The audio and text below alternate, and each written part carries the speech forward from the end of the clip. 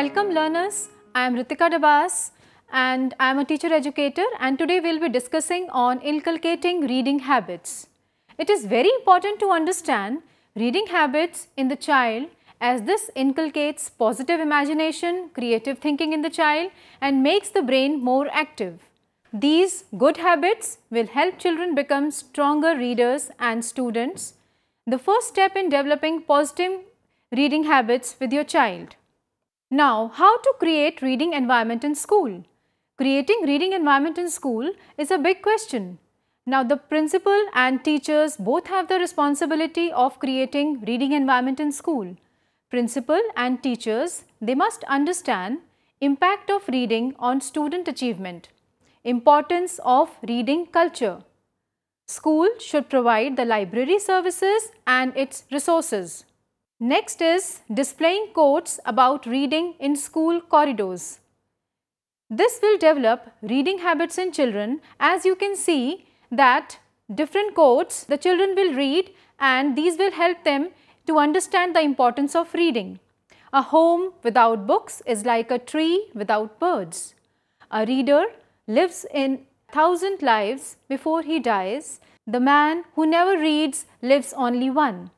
A book is a gift you can open again and again. Displaying notices of reading events, challenges or incentives in school, visiting authors, book awards or awarding the best story written by children.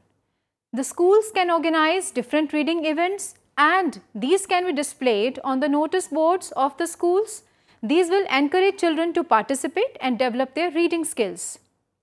The schools can display photos of children reading, staff reading and other reading role models. As you can see in the picture, the children are reading books. The next is Principal's recommended book of the week. This strategy can be a very good in developing reading skills. In your school corridors and notice boards, you should display signs pointing to the library, footprints heading in that direction how many steps to the library? Notices with the library or opening hours and students on duty in the library. The library quiz of the week. Information about new books coming to the library and events coming up. So, library as a resource can be very useful in developing reading skills. Ensuring the library in the school. First and foremost, it is more important that library exists in the school the library which is there in the school is well resourced and well used for events. It is also important that teachers collaborate with the librarian and the library is used as an essential resource for literary programs and initiatives. Inculcating love for reading among students. For inculcating love for reading among students, it is more important that the student should read and with the student the teacher should also read. So, first the teacher should read herself. If we want our children to develop reading habits, then we must read ourselves and they must see us reading. Read not only for pleasure, but also to gather information, knowledge, understanding instructions and even connecting with others. When the children see us reading, they too will develop these habits and start reading themselves. So, lead by example. Our children pick up most of their habits from us and it is therefore very important as teachers to be careful to inculcate positive attitude towards children and towards important habits such as reading, literacy and acquiring knowledge. Discuss what you have read. First, the children are reading and with them the teachers are also reading. Teachers have their experiences in reading. So, the teachers should discuss what they have read Discuss with the child what he or she is reading. It may not only be storybook always. Generally teachers focus on storybooks but besides the storybooks the teacher can also focus on different events they have read about, see what the child likes to read, particular genre or author and encourage or her to cultivate it. Develop the culture of discussion in groups in the classroom to broaden the child's understanding. Develop positive environment in the class so that the child feels free to ask questions related to what he is reading. Share your experiences about reading. Discuss about books and magazines that you have read. Discuss how the books, characters, authors influence the lives of young people and how it shapes the ideas of the individual. Encourage your child to read books and articles in his or her native language. This helps them to develop their cultural identity and also builds strong language skills. If reading skills are developed in the native languages, they will automatically transfer into English. Although it is a misconception that if the child is reading in native language, it may hamper his learning of English, but that is a myth. Let your children choose. Let them choose what they want to read. Initial monitoring of the content to be done by the teacher. Instead of dictating what to read, let your child choose his or her own reading material. As a teacher, it is very important to still keep an eye on the reading level of the child, but do not force the child the concepts what you think he or she should be learning. Let your child choose his or her own reading, his or her own reading material and be sure to be there to support them if they need your help. Reward them. Keep a visible record of achievement of the child as this is very successful way to motivate your child to develop reading habits. Teacher can develop games out of the books that the child has to read by deciding on the number of books he or she has to read to reach the top position. The game can include all the students of the class and will also help in making reading a shared experience for the whole class. This method can also be used to introduce your child to different genres of books. Go beyond books. Books are not the sole thing which the child should read. The teacher should encourage them to go beyond books. Development of reading does not necessarily have to come only from reading books. Make the child take note of small information on the notice board. Encourage them to read advertisements. Ask them to read banners and other boards they see while coming to school. Use drama. Children love nothing more than acting and trying out different roles. If your child is a reluctant reader, then encourage him or her to play a character from a fictional tale as this may help to motivate them to read a text. As a habit, reading has to be developed consciously by the parents and teachers during the early years of child. Once this habit is inculcated, then children tend to further develop tastes, preferences, genres and authors on their own. Once your child understands the connections between reading and other wider historical, political context of reading, they will gradually develop love and appreciation for reading. Reading for pleasure. Now there are two different aspects, reading for pleasure and reading for knowledge. Here we are understanding, here we are discussing on reading for pleasure.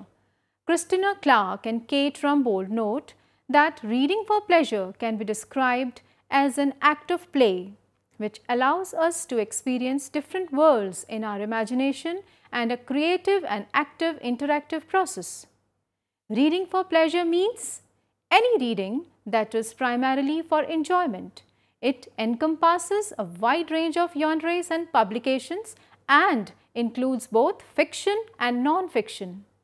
Reading for pleasure means voluntary reading and choosing what to read either during school time or in free time. It can be a powerful tool in all age groups and amongst all level of readers. For developing reading for pleasure at school, the school should appoint a facilitator to help the students, to support the students, allow children to make personal choice, make spaces, places and time for reading have excellent book provision and displays. Conduct book talk sessions at any time. This is the teacher's responsibility to develop book talk sessions at any time in their classrooms. read aloud the books to children. Opportunities for open-ended discussion, sharing of response to be given. Increase opportunity for looking at and talking about books. Creating engaged readers involves commitment in developing a school-wide reading culture that actively encourages, supports and models reading for pleasure. Fluent and reflective reading improves literacy, social skills and well-being and enables independent learning. The outcomes of reading are shown more strongly if reading is enjoyable in the first instance. So, reading for pleasure is so important. Reading should not be done just in school. It needs to be and part of our everyday lives and at all ages. So, if you are a teacher, you cannot spare yourself from reading. As a teacher, you need to read regularly. Reading for knowledge. This is another aspect, reading for knowledge. Reading for knowledge is reading for just information and reading for pleasure is oriented towards pleasure. Reading for knowledge involves reading instruction. It is learning to read while reading for pleasure is choosing to read. Reading for knowledge or reading instruction is just a skill and reading for pleasure is the will. Decoding and comprehension is the aspect of reading instruction, while reading for pleasure involves engagement and response.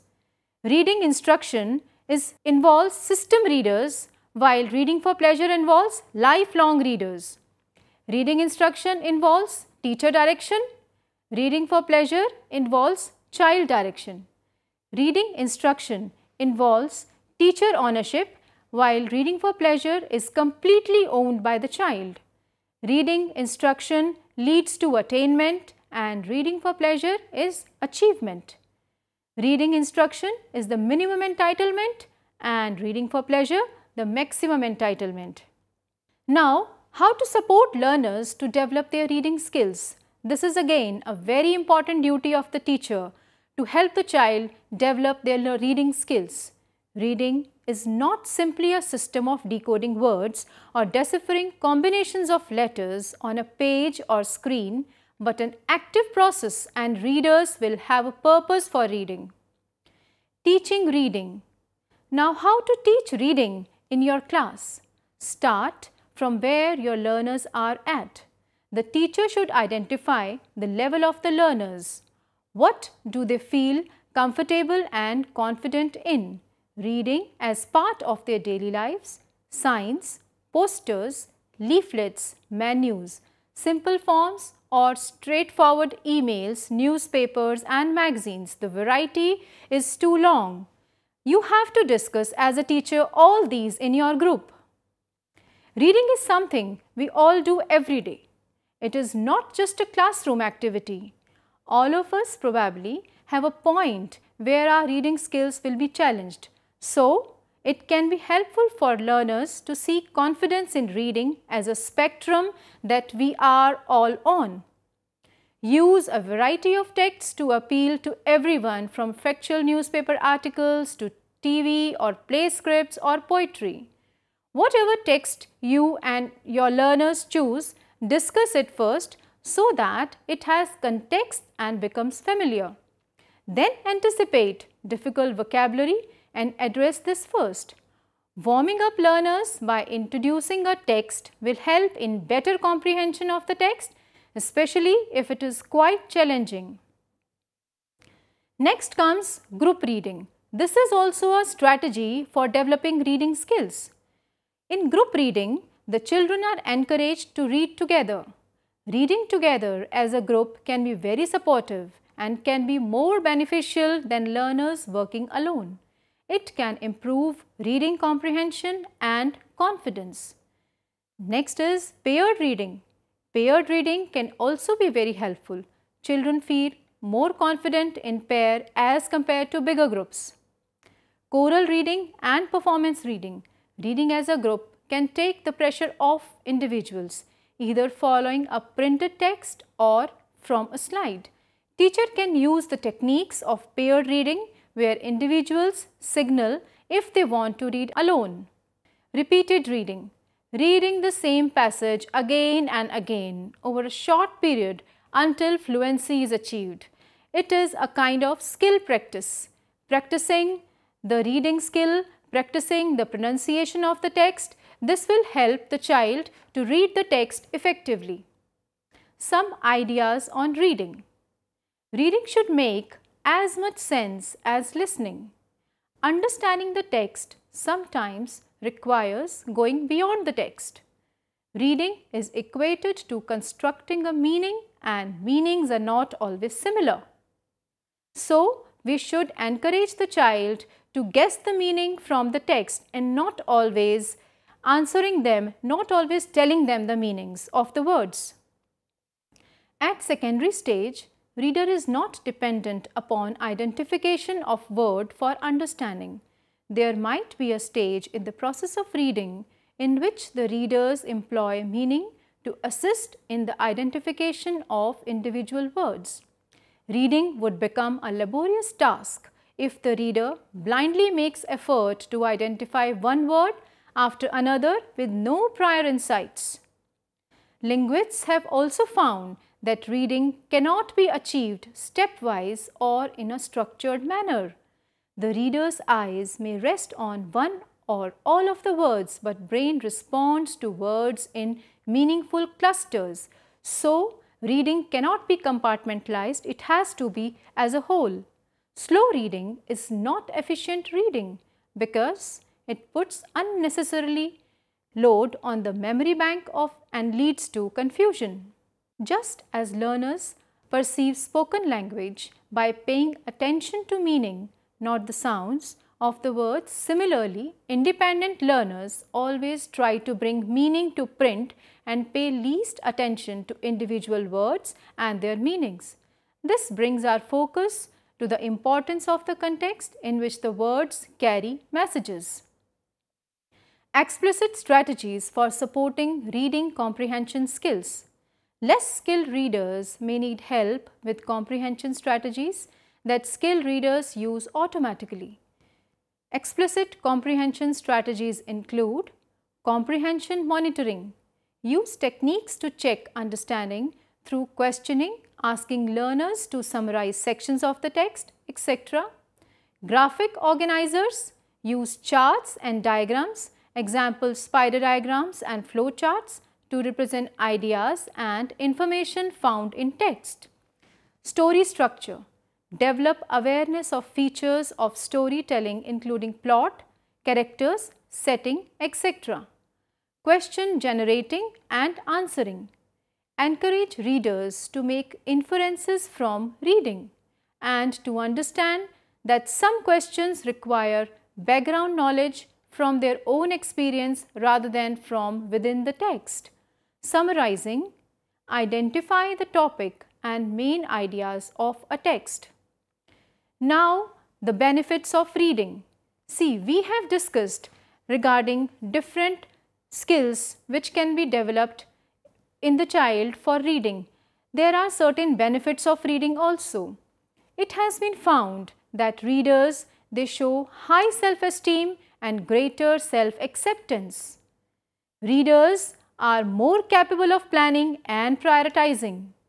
Readers show greater capacity of empathy. Readers have better understanding of other people's feelings. Readers show stronger and more engaged awareness of social issues and of cultural diversity than non-readers. Readers have more general knowledge. Readers have deeper understanding and respect for different cultures. Readers show higher levels of creativity than non-readers. Readers, they have better emotional health, empathy and well-being. So learners, we have discussed in detail regarding developing love for reading among children and other aspects to it. Thank you.